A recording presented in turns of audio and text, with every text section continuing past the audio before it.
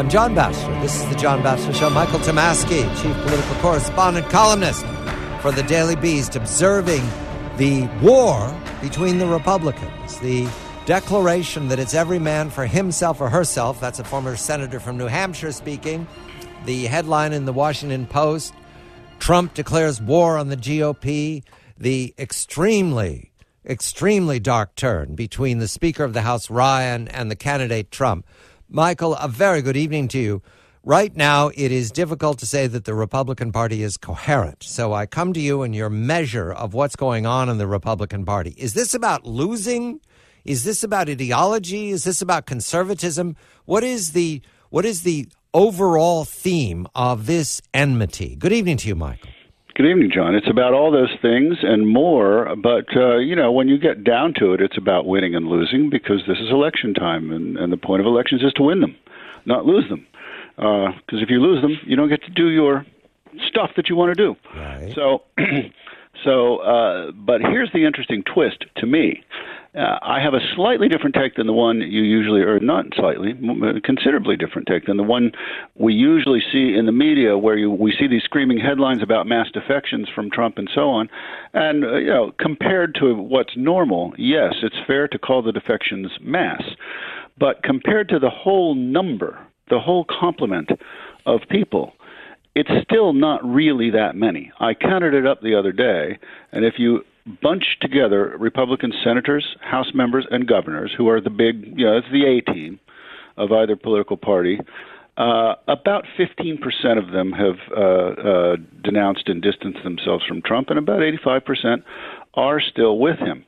So uh, the defections aren't really that mass, but but 85% isn't enough for Trump. He wants 100. And he's going to be so furious at that 15 that you know, he's going to tear the party to pieces.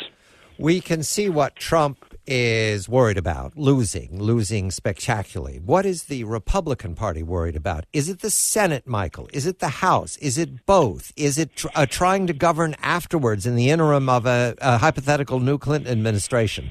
What is their biggest fear that they don't want to talk about? Well, I think uh, the biggest fear is um, the Supreme Court. Uh-huh. Uh, because you know the conservatives, uh, we've had a conservative majority on the Supreme Court. Uh, different people measure this different ways, but I would say since the mid to late 1980s, you know, since Rehnquist became the Chief Justice and Scalia came on, that that was in '86, um, at the same time, uh, and so that's a long time and there have been a lot of decisions that they've made that conservatives have been very happy with, and there, and if Hillary Clinton gets to replace uh, Scalia, and let's say maybe not that I'm wishing ill on anyone, obviously, but let's just say Anthony Kennedy, who is up there, decides to retire, and then she replaces Ginsburg with a liberal. Uh, I mean, it, it could be not just a five-four, but a but a, uh, Ginsburg obviously is liberal. That wouldn't flip, but Kennedy would.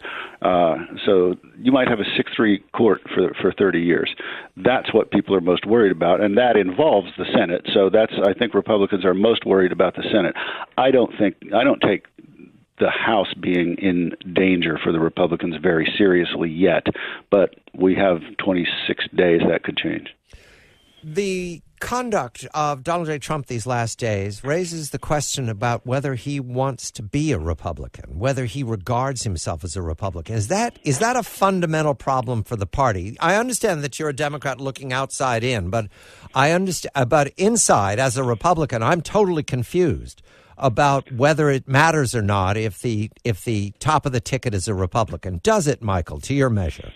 Well, of course it does. Of course it does. And um you know, uh, he he has no loyalty to the Republican Party uh, as an institution. He has loyalty to one thing. We know what that is. Right. Uh, and um, so he doesn't care what happens to the party, and uh, you know he is he is more popular among Republicans right now than Paul Ryan is, than Mitch McConnell is, than any of his chief critics are. Uh, so he's got a lot of leverage over them, a lot of leverage over them, and a lot of them are sticking with him uh, because they need his voters. They need his voters to vote for them on election day. Uh, people disappointed uh, in Marco Rubio. well, go ahead and be disappointed, but there's a very clear and I must say, from Rubio's point of view, coldly logical reason for him not to denounce Trump.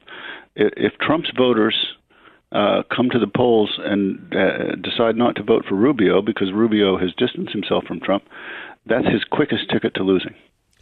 The campaign. So he's got him in a box. The campaign right now in the Senate, I'll, I'll concentrate on the Senate, shows confusion because while we have Portman well up in Ohio, Toomey is under pressure. And I saw within these last hours that Toomey says to one of the major newspapers in Philadelphia that he may not make a decision about Trump right up until Election Day. Yeah. That tells me, and Toomey's a conservative conservative. That is yeah. a oh, first term yeah. senator in the Keystone State, which is trending heavily blue at this point. That tells me that Toomey is fretful, deeply fretful. And if he's worried, that means Ayotte is, that means Johnson is. All of the battlegrounds then are at risk for the Senate seats and for the House seats too, Michael. I'll extend it to the House. Not, uh, nothing holds if Toomey's worried. That's right. That's right. And uh, he's basically tied. Uh, you know, I mean, you see different things, but he and Katie McGinty, his Democratic right. opponent, are, are basically tied.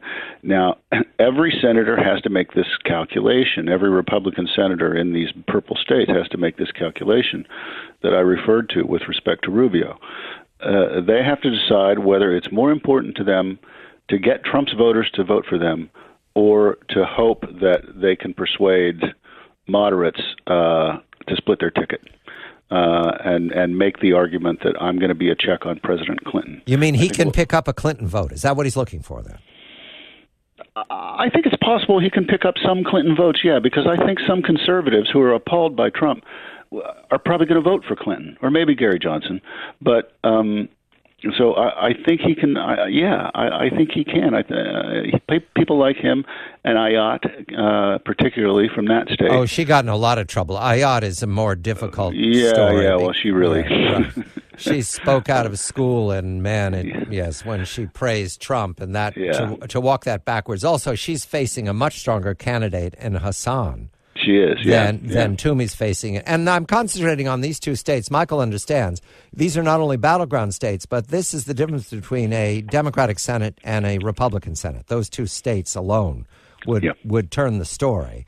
Uh, right. With Portman holding Ohio, you can only look to these things. Joe Heck in Nevada, he's also having a difficult time. Yeah, he's he's got a very close race. Missouri is a closer race than most people expected, and now Indiana with Evan Bayh uh, getting back into that race gives right. the Democrats a shot. I think he's probably a little behind the Republican, but only a little. Finally, Michael, the House. You don't embrace yet the idea that the House is at risk, but I do because mm-hmm. morale is plunging. And with 26 days to go, that's everything in get out the vote. That, la- that last three days yeah. of getting people to the polls. And I, I, don't, at this point, I can't tell, Michael. I can't either. Um, I have a feeling that among moderate voters, who will vote for Clinton. Uh, I, I, you know, there'll be, as I suggested, you know, a fair amount of ticket splitting because there'll be a lot of people voting for Clinton who don't want her to have a Democratic Congress, you know, who don't want the Democrats to have the full run of Washington. So they'll vote for her and they'll vote for a check on her. Uh, I think, you know, particularly if the Republicans candidates themselves push that line uh, and and drill that idea into people's heads uh, over the next month, uh, then I think there might be a lot of votes like that. On the other hand, you make a good point. Just simple, simple dispiritedness of Republicans, particularly if there's one more thing like that video. Right. You know, and a lot of us suspect there's at least right, one more right, thing. At like least one video. more thing. Michael Tomasky for the Daily Beast. I'm John Batchelor. This is the John Batchelor Show.